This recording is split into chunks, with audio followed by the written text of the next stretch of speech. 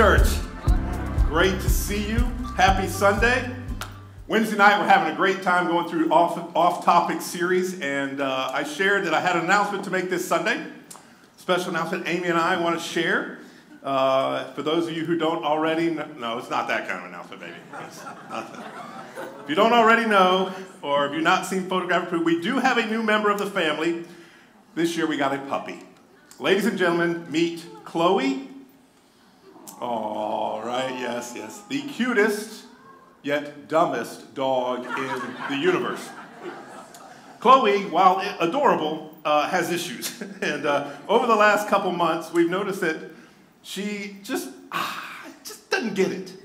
Like, so we got a trainer. They come to the house, trying to teach her how to, you know, heel, stay, come, sit. I'd just be happy if she learned her name and actually showed up and we called her. So I thought, you know what? She needs to be around other dogs. So we had a play date. We got our dogs together. You know how you do play dates with dogs, right? No, just me? Okay, I'm weird. So we brought over Cooper. Cooper, yes, the Barton's dog. We have a picture of, uh, I think, Cooper and uh, Chloe on the left, giving him a proper rude welcome. So we have Chloe on the left, and Cooper, who is twice her size, weighs twice as much, been on the planet twice as long, knows all the moves, very quickly put Chloe in her place. And within seconds, Chloe was flat on her back, learning you don't greet your playmates like this. And uh, he's got like a hand on her chest, like, you will submit, you will be, just chill. You don't have to attack, you don't have to be super.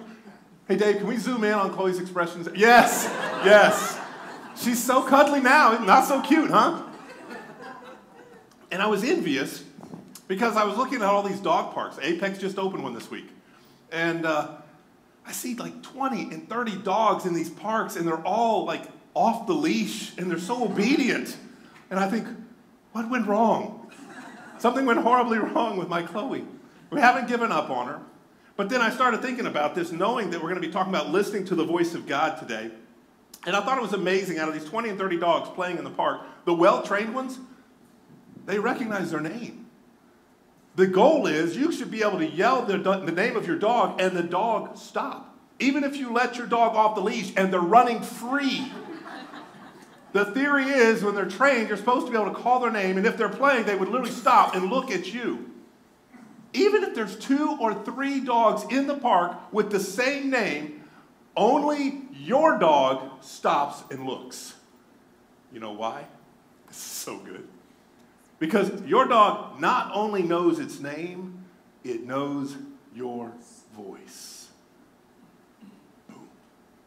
Back, we'll give the invitation, we'll go home. That right there is such a truth grenade. Y'all, when we spend time with the Father, we know his voice. When we spend time in his word, we begin to recognize his will and the Spirit's leading. The more you know his word, the more you will know his will. Write it down, count on it. Ask yourself when seeking His will, can you eliminate the distractions?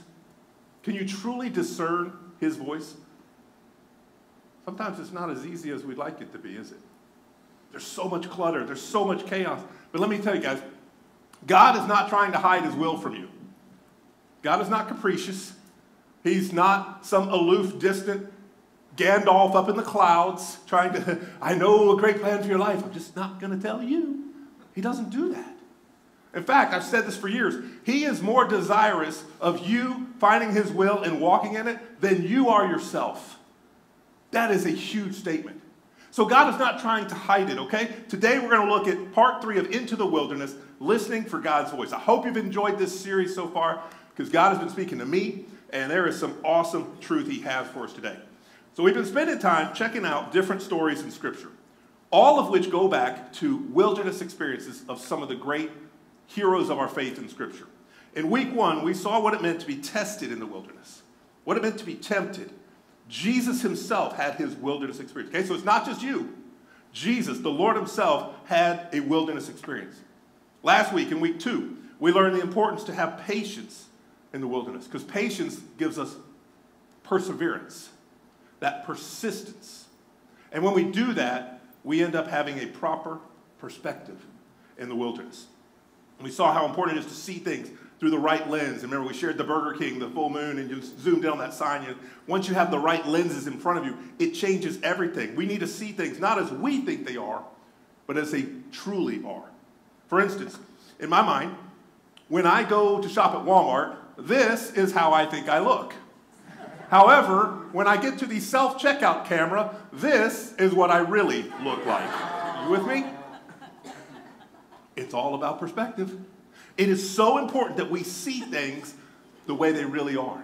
And when you are in the wilderness, be honest, it is hard to hear the voice of God sometimes because you're so focused on what's going wrong in your life. You're so focused on the pain and the immediacy that we are focused right here, almost like myopia. We're looking right here, it's all we can see. But what if I told you the wilderness doesn't have to be the scary place that we think it is?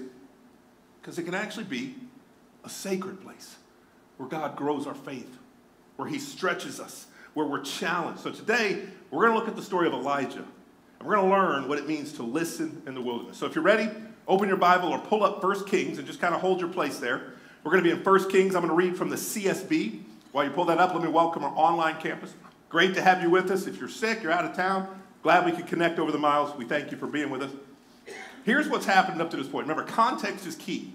Do your level best to resist the easy urge to take scriptures out of context.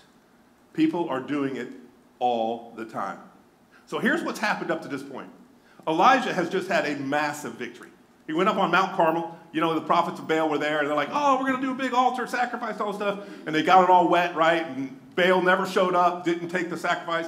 And Elijah said, go wet this altar down. Do it again. Pour more jars of water on it. Get it crazy. Get it super soaked, all right? And then we're going to see which God's real. And Elijah prayed, and God sent down fire, and it consumed not only the sacrifice, but it just absorbed the altar. And it was this incredible victory.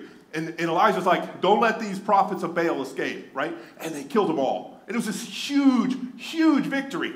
Yet the next page over, here in chapter 19, Elijah is suddenly no longer on the mountaintop. He's running for his life, and he's hiding in a cave because of one woman. Queen Jezebel has issued a death threat and says, What you did to them, I'm going to do to you by this time tomorrow. So Elijah freaks out and he's running into the wilderness. There's that word again. And he's alone in the cave. This is where we pick up the story, starting in verse 9. He says this He entered a cave there and he spent the night. Suddenly, the word of the Lord came to him, and he said to him, What are you doing here, Elijah? And he replied, I love this, okay? I just picture Luke Skywalker, whiny voice. I have been very zealous for the Lord God of armies. But the Israelites, they've abandoned your covenant. They've torn down your altars. They've killed your prophets with the sword, and I alone, here it is, right? Woe is me. I am the only one left. And they're looking to take my life. Uncle Owen, this one's got a bad motivator, right? You hear it? You hear the Star Wars, don't you? He's looking at this, and before we get too judgmental, we do the same thing. Be honest. We all get in our little pity parties. Pity party of one. Selfish here. We do this. Okay? So he's not any different than we are. Look at verse 11. Then he said, Go out and stand on the mountain in the Lord's presence. At that moment, the Lord passed by. A great and mighty wind was tearing at the mountains. It was shattering cliffs before, y'all, that is power. It was shattering cliffs before the Lord. But the Lord was not in the wind. After the wind, there was an earthquake, but the Lord was not in the earthquake. And after the earthquake, there was a fire, but the Lord was not in the fire. And after the fire, there was a voice, a soft whisper. When Elijah heard it, he wrapped his face in his mantle, and he went out and he stood at the entrance of the cave.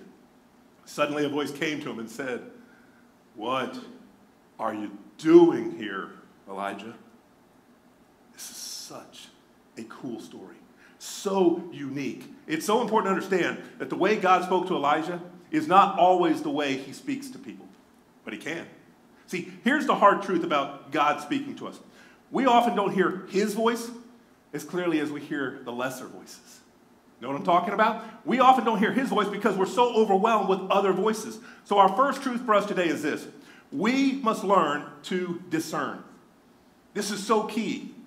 Do you want to have direction in your life? Do you want to have clarity about that job situation, that person you're thinking about spending the rest of your life with? We have to learn how to discern between the voices that are junk and godly voices. See, the good shepherd is the voice we're supposed to hear, right? Over the, the roar of the crowd. This is like what we talked about with the dogs. The master could say a word and the dog heard it and knew it because he recognized his voice. This is where we learn discernment. If you were here last week, we talked about David and how he had to have patience when it came to waiting to taking the throne, even though he'd been anointed as king. We looked at how he had patience, and we came to that conclusion it's because of his time spent with God that he was able to persevere, that he was able to have this incredible perspective and walk with God on a deeper level. That is how he was able to persevere in patience, because he had this a close relationship with the Father. So, you know, I got to ask do you? Maybe that's one reason we're not hearing his voice clearly. Because if we're honest, we're kind of doing this to our Father. Right? I'll, I'll, I'll, I'll be with you in a minute, Lord. You know, we keep him at arm's length. I believe when it comes to discerning God's voice, we have to have that closeness with God as well. But before we can even talk how to discern God's voice, I want us to understand what discernment means because we've got a lot of young people here today. It's a big word, we don't hear it anymore. Here's one dictionary's definition of discernment discernment is the ability to obtain sharp perceptions or to judge. Oh, there's that word. That's not nice, Pastor. We don't judge. Okay. With the goal of obtaining and maintaining spiritual guidance and understanding. All right. So, right there, we see discernment is separating things. Did you catch that? Separating good things from bad things. We're allowed to do that. We're supposed to have discernment. Godly people are supposed to be able to recognize his voice and the voice of the enemy. See, in John 10, Jesus says himself, I am the good shepherd. I know my sheep, and my sheep know me. My sheep know my voice, and they listen, and I know them, and they follow me, right? Just like we, we saw in the dog illustration. The goal for Elijah way back in the wilderness is no different than the goal we have today. Every one of us wants guidance. When I think of guidance, I immediately am taken to a particular movie, okay? It's just a movie. I don't talk about it much, but when I put up a picture, I want you to shout out what this is. Can you? Anybody know what this is? Death Star. The Death Star. All right. Now, for the real nerdy nerds, what is this? Star Destroyer. That go? No, no, no. Hang on. Easy trigger. Easy. We'll get there. What is this that goes around? There's a band that goes around the Death Star. Anybody know? The trench, right? This is kind of a big deal. All right? Luke Skywalker flies down this trench. I think we have a photo of this, where he is going to drop a photon torpedo, I think, into this one weakness of this Death Star to blow it up. All right? Spoiler alert. I hope you've seen the movie, because it's been 40 years, if not. All right? So I held off as long as I could. And don't come up to me after church and be like, Pastor, we were going to see it tonight. I can't believe it. We are going to go by Blockbuster, get the VHS. No, you weren't. No, you weren't. It's kind of a big deal. It's the whole plot. He's got to blow up the Death Star. And he's got to fly down this trench. To do it, he has what's called a targeting computer, or better yet, a guidance. Some of you wonder where this was going. He has a guidance computer. He trusts in the technology, and he's got it lasered right in front of him, and he, and he sees these red beams that are getting closer and closer on his computer, telling him the amount of feet he has left before he's got to drop that bomb. And it's coming, and it's faster and faster, and like people are fighting all around him. He's like, just keep, just give me a few more minutes, I'm almost there. And then, just when you think he's got it made, he hears a still small voice. The voice of Obi Wan. That's right. Let go, Luke. Use the force, Luke. Trust your instincts. And Luke kind of looks around like, what is that? And he waves it off. Oh boy, it's getting spiritual. He waves it off and he leans in even more and he accelerates and he's coming up close. Then he hears the voice again Luke, let go. Trust your instincts. Use the force. Right? We hear this famous thing. And he does. He lets, he literally hits the cancel button. The guidance computer comes up and goes behind him. And the people in the command ship start freaking out. The good guys who are monitoring him, he was the last hope, go, Luke, you switched off your guidance computer. What's wrong? What's wrong? And he's like, nothing's wrong. He made a choice to listen to a voice. Guys, can I share something? We don't have to use the force when you have the real Holy Spirit. Not only that, we have His living Word that speaks to us. This is what we've been talking about the past two weeks the importance of being in His Word. Anytime we need guidance, anytime you're being tested, when you're in the wilderness, run back to His Word. We can't afford to be ignorant of what God says anymore. Guys, we have entire generations growing up that have zero knowledge of the Word of God. Zero. It's not their fault. Kids can't drive themselves to youth groups. Kids can't take themselves to conferences. Kids, parents do that. Grandparents do that. They take leadership. They get the, y'all, it used to be, we were talking about this, Pastor Bill and Pastor Jason, we were in staff meeting. It used to be that pastors would have a seven year cycle of key doctrines and scriptures that they would preach through for their church. They go through Revelation, they go through eschatology, then they do apologetics and why are you here, and purpose, and finances, and stewardship. And you would hit all these key major doctrines over the course of maybe seven or eight years. Then they, people are not sticking around, people are dropping out of church, people are leaving, they're abandoning their faith. You better condense that to five years. So if you stayed five years, you would hear these key doctrines. You'd be like, oh, okay, we're back to this. Then they said, dude, you better hit the key doctrines every three years. You better start hitting these over and over again. I was talking to, to a, a good friend today, one of our leaders, a senior adult, said, every three years? Man, you need to do this every three months. I forget it all. And I get that. We're so distracted. Guys, there's whole generations that are not studying the Word. How can we expect them to be making wise, discerning decisions when they can't hear the voice of the Savior? And if we aren't leading by example, if this is the only meal we eat and we get in our car, we throw our Bible on the back of the shelf and we just kind of cruise all week, man, if this is your only time you're eating, you are starving. Starving. God is calling us deeper. God, can we, can we just be bold here? It is not the will of God if it goes against the Word of God. Period. That's it. End, end of story. We have to know His Word because so many times this is how God speaks. But sometimes He'll speak through key people in your life. He'll speak through people around you. He'll choose to speak to someone. And man, when we get the fellowship, that's why it's so important. It's so powerful. Community gathering is so transformative. But you better be discerning of what you allow in your inner circle. This is one of the times you're allowed to be choosy. In fact, let me just stop here and ask, okay? Don't answer out loud. Are the things you are reading,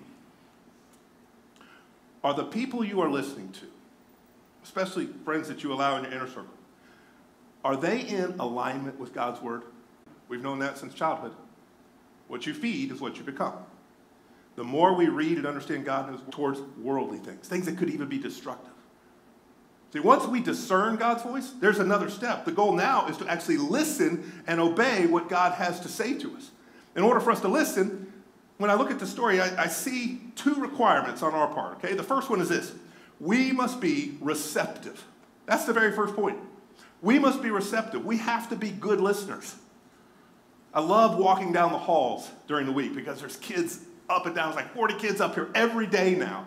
And they're screaming, they're laughing, and the teachers will be, oh, Pastor Matt, I'm so sorry they're loud. I'm like, no, don't apologize. I love it. If it's a holiday and they're closed, I'm sad. I don't hear the life. I don't hear the laughter. I don't hear the crying. I don't hear all that stuff. But they have this little trick to get them quiet. They'll say, little owls, little owls, put your listening ears on, right? Or little llamas, teacher's talking, eyes on me, eyes on me. Or they do this, and all the kids do it back, right? Can you do it? All right. Okay, all right, good. See, isn't that fun? You're listening. But have you ever had a time when you're talking to somebody and you're looking in their eyes, you're sharing like a heartfelt story, like you, or a victory, and you look in their eyes and you can tell they're not really listening? Yeah, I can do it right now to some of you. I'm just kidding. you look in their eyes, you think, they're not listening. Isn't it annoying? You just want to like box them in the nose and go, pay attention, right? Like, you're not you're not listening. I saw the most incredible T-shirt, so funny. It absolutely nails this. It says this: My wife says I only have two faults. I don't listen, and something else. I don't know. I don't remember what it is. if you're honest, maybe this is you. Or maybe it's somebody you know. And you think, you know what? I wonder if I have the tendency to do the same thing to the Lord. Like we say we're listening, right? God, I need you to speak to me. I, I have such a, I'm at a crossroads. I got a big decision to make, and you've got seven seconds before I got to go to the next meeting and answer, right? We, we grin because we've been there. God, I, I really need it. I got to hear from you. I got to hear from you. I'm going to kneel for at least eight seconds and let you. Didn't get it. Okay. God failed again. Y'all, this is, we are so preoccupied by so many things. We're in such a hurry, such a rush, that we don't put our priorities where we say they are. We're so pulled here and there, and simply we can't hear God's voice because we're being so distracted and encumbered and weighed down. Hebrews 12:1 says this: throw off everything that hinders you. Throw off everything because God knows there are certain things that are going to keep us from pursuing Him with our whole heart. Things that will slow us down, like you're going through a bog and you've got chains on you and you can't quite make it. And He says, throw that off. Come on, spiritual Christian. Man up. Grow up. Dudes, put your purse down, park your Prius, and let's do this. Let's go. For the love of donuts, the world is watching. Are we serious about what we say? See, when I look at this in Elijah, part of learning how to listen to God and receive his voice was learning where, what, and who he was going to speak through. Because it was crazy. God would speak here. Remember, there was a roaring fire he could have spoken through, but he didn't. There was this huge earthquake that he could have spoken through, but it wasn't that. There was this roaring fire and this rushing wind in the whisper. By receiving, being receptive to hearing God's voice anytime, anywhere, we open ourselves up to Him doing something that you didn't expect. Let me show you what I mean. Here's a true story. I just read this week of a missionary pilot named Forrest Zander. Great book about it. He writes about landing on a remote airstrip in the middle of nowhere. When he landed, it was on a different continent. He said the runway was so bad, so pitted, storms had come through, and now it was nothing but mud. So he's landing in his Cessna. He's got aid that desperately has to uh, reach these tribes and other missionaries. So he's landing for what was supposed to be a quick drop off. And he lands the plane. He says he is horrified that his plane almost jerks to a stop and the wheels sink into the mud up to its axles. Well, that wasn't scary enough, but the fact was he had to hurry up and unload and get to the next stop immediately, but there was no way he was going anywhere. It was, there's just no way, not humanly. He's sitting there, he's looking outside, said it says, he's at the end of the runway, he didn't even get far, and he's thinking, what do we do? He's by himself, and he says, you know what? I have no choice but to try to go. How in the world am I going to get airborne and up to speed in this mud? The runway was already short. So he says he got back in the Cessna. He has his hand on the throttle. You ready for this?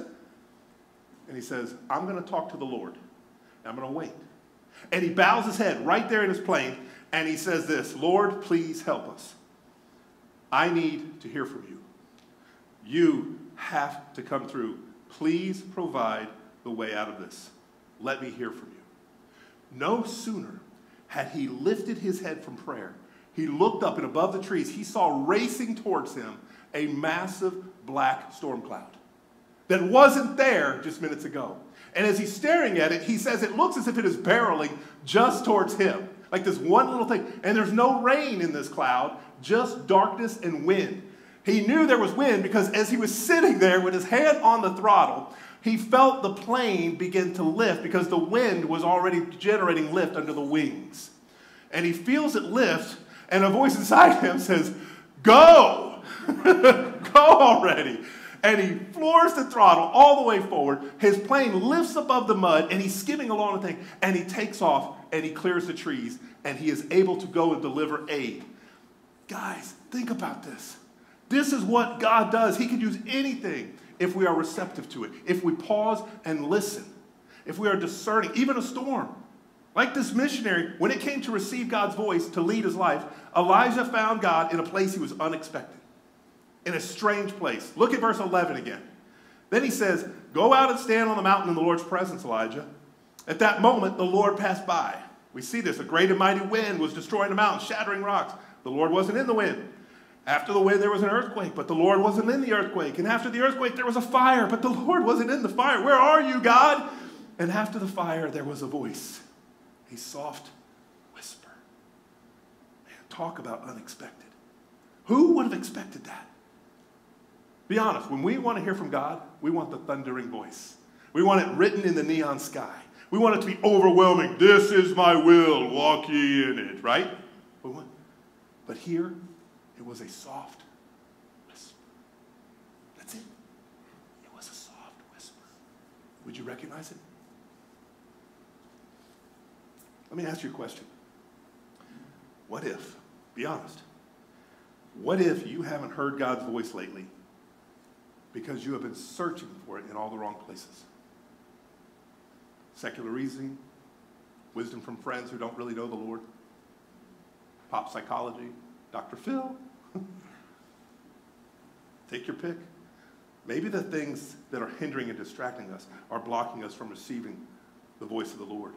Maybe the solution is as simple as doing for the Lord what you do for everybody else. Maybe you schedule time and you protect it, like an appointment with your doctor or a date night with your spouse. See, we do that for everything else, but sometimes we let God be the last thing. We do this for every other appointment. One of the most important lessons we learned during our time in the wilderness is this when everything else is gone, then you are most ready to receive. Let me show you what I mean. Think about it. And you look up and you think, that is unbelievable. It's breathtaking. How come I never saw this before? You know why? Because you got away. There's no more light pollution. You're not able to see it. Back when we were in the city, we look up, I can count, it's like 11 stars. That's it. I thought that's all we had. And then you go away, like, did these stars magically appear? No. They have been there all along. What changed?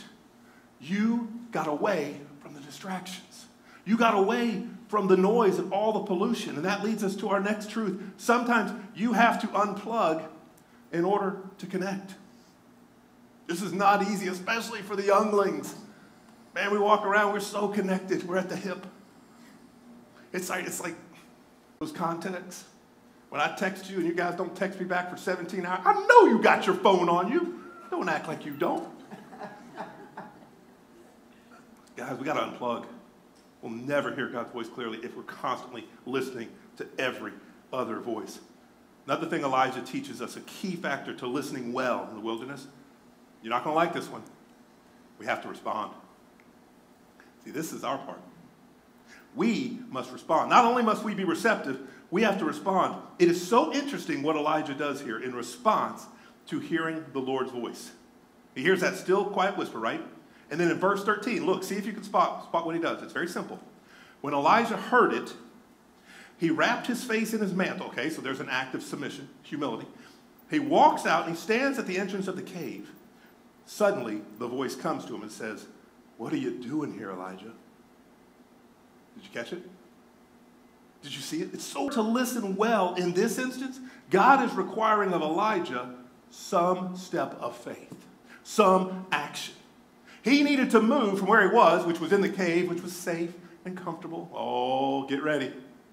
To a place that was no longer safe and a little uncomfortable outside the cave. See, outside the cave, you can get hurt. Outside the cave, you can catch a virus. Outside the cave, you can run into people, and people are icky. I don't like people. It's too peoply out here in this world. Everybody's short tempered.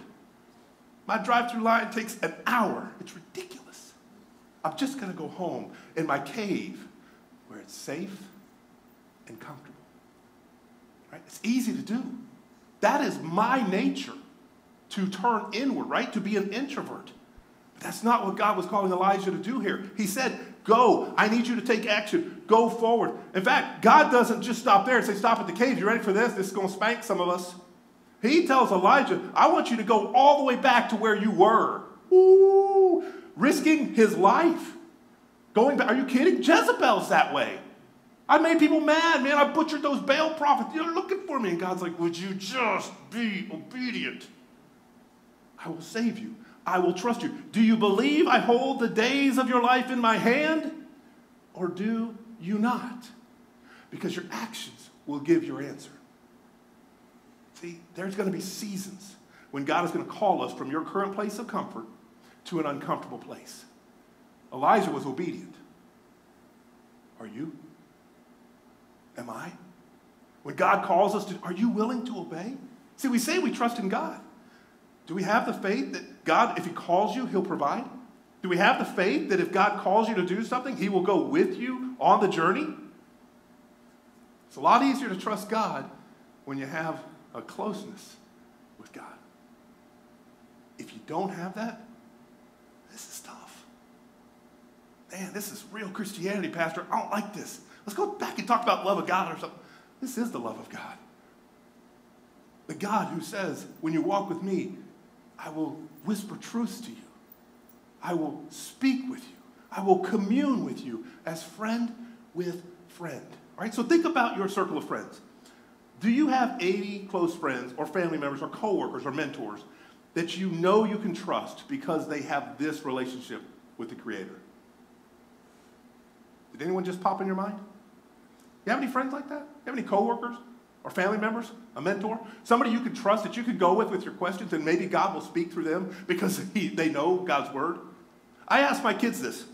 I was asking, and I said, guys, do you guys have any, you know, is there somebody, not, not me, not somebody, but I'm just curious.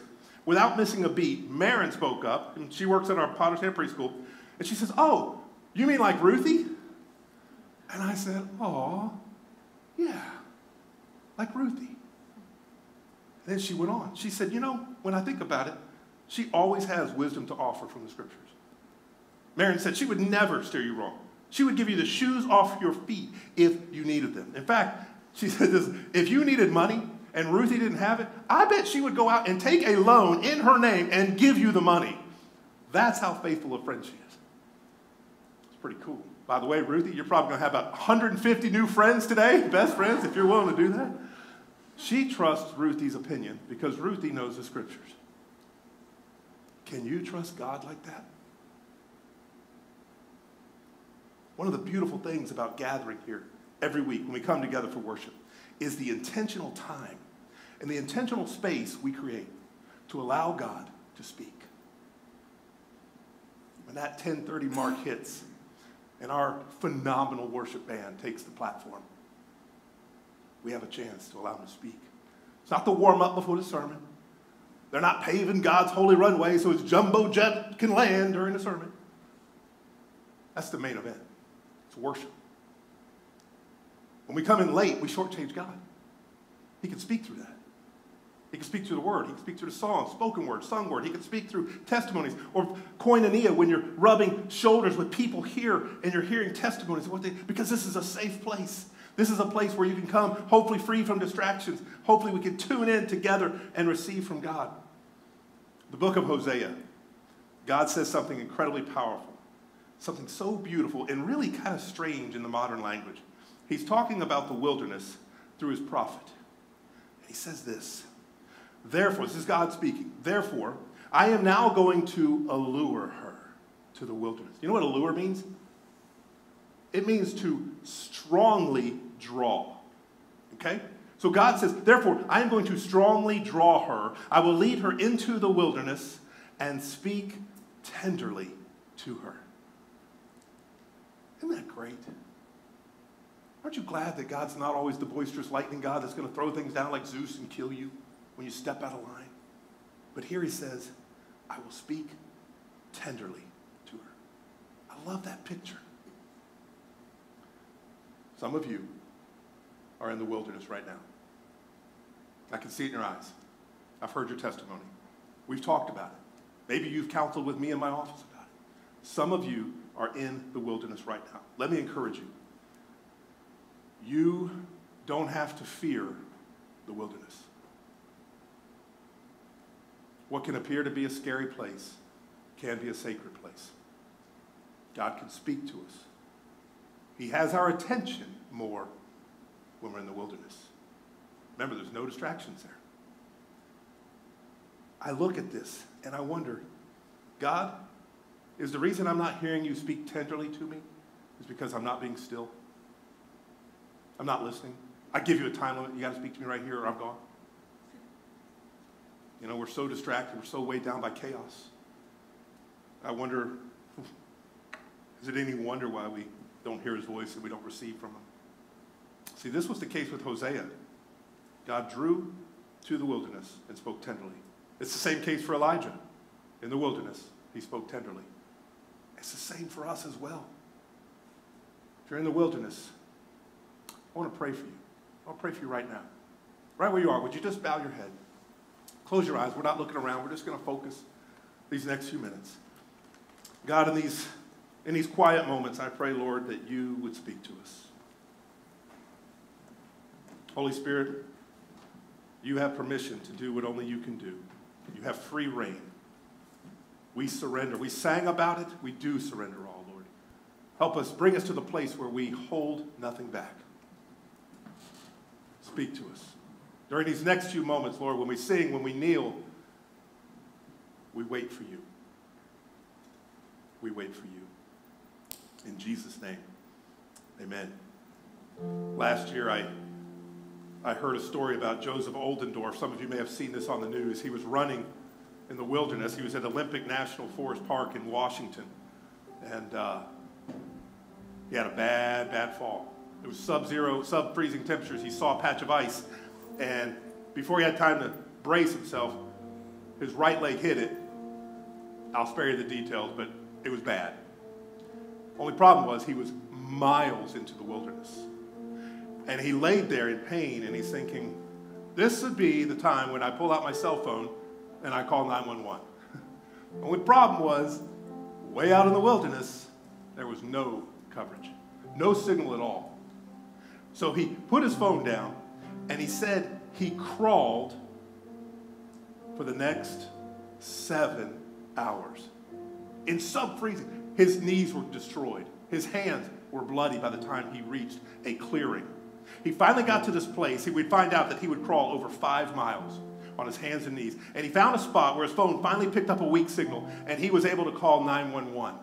He was hiking during the daylight. Now it was midnight. He finally got a signal out, called 911, and it would be another four hours before the rescuers would find him. Another 30 minutes to get him to a clearing that they could medevac and airlift him out. So it's 4:30 in the morning. He's finally getting medical help. He's able to get out of the wilderness, and the story ends happy. He survives this wilderness ordeal. Church, there is never a wilderness so deep that you don't hear God's voice. And there's never a wilderness so deep that He won't speak, that He can't hear you. Ephesians says this For through Him, through Jesus, we have access to the Father. Because of Him, we have boldness, we have access, confidence through faith in Him. Guys, what a promise! What a full access to the Father. What other faith even pretends to have that? Even in the wilderness, God is immediately accessible. We can listen, we can respond to His. word. Think about this. You have instant communication with heaven. If you just stop, protect that time as a disciple, and say, God, I don't want to move until you speak. That's the kind of tenacity we got to have. The lady who said, if I could just touch the hem of his garment, that's all I need. She had that faith. He's like, Who touched me? We give up so easy on our waiting on God. And then we scratch our head and think, well, God's far away. He doesn't really listen. God doesn't answer prayer. Man, that's a lie from the enemy. We see him answer prayers. Just like Elijah, our goal is to be receptive to his voice, but it's also to respond. So I want to ask, what's your response today? Everything's driving to this moment.